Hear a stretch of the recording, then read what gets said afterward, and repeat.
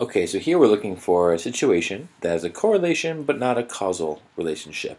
So that means since we're looking for something that's not causal, let's find all the ones that are causal and cross those off, and what remains should just be the thing where there's a correlation but not one that causes the other. So let me explain in general what they're talking about. So this correlation's all over the place, right? And for example, maybe in, in, in a city, you're studying the crime rates, and you find, very interestingly, that where there's lots of crime, there also, in those areas, tends to be, let's say, a bagel shop. And this might be an odd finding, but you keep looking into it. And it turns out in all the, all the places where there, where there is crime, somewhere nearby you can find a place that sells bagels. That's a correlation, right? Where there is one, there is the other. But that doesn't mean necessarily, of course, that and hopefully that the bagel shops are the cause of the crime. It just means that there's maybe lots of bagel shops. And since the bagel shops are everywhere and crime tends to appear, unfortunately, almost everywhere, the two can always be found next to each other, somewhere. So, assuming you're in an area where they do have bagels, you're going to find a bagel shop. That's the real reason you're finding bagel shops. But this is not causal, it's just a correlation. Causal means one thing causes the other.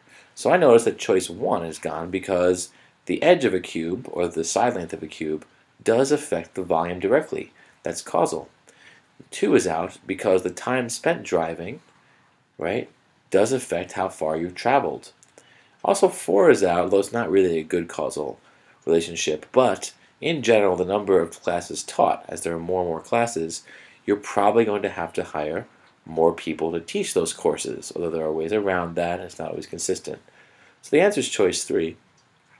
And it, it might be true that the age of a child um, and the number of siblings a child has, there might be a connection where the older ch children have more siblings because their parents have had more time to have other children. It doesn't mean that the fact that your child is older will cause you to have more children. Right? Think of any family where there's only one or two children. Um, right?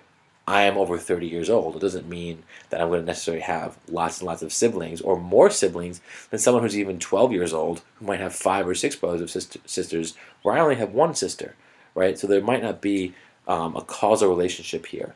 You know, in other words, the older you get doesn't mean automatically the more brothers and sisters you have. Okay, the next question. So we have these these student scores, and uh, we want to find the mean and the median and describe the effect of the mean and the median if Miss Mo Mrs. Mosher adds five bonus points to each of the students, uh, six student scores. Okay, so I'm going to actually pull up the graphing calculator here just for good practice. You don't need to, but I think it's a good idea. So again, the way this works is that you want to enter this data into a list. Hit second stat. Here are my lists right here. Let me, sorry. It's faster if I just hit the stat button. I want to edit my list. So press stat it, stats and then edit. Up here with the list heading, hit clear and then enter to clear your list. Let's go up, clear and enter, and then enter in your data. Um, so here we have 72, right? 80, 85, 93, enter, 78. And again, I'm showing you this because this can end up being super useful on some of these examples. Once you have this list, you're essentially done.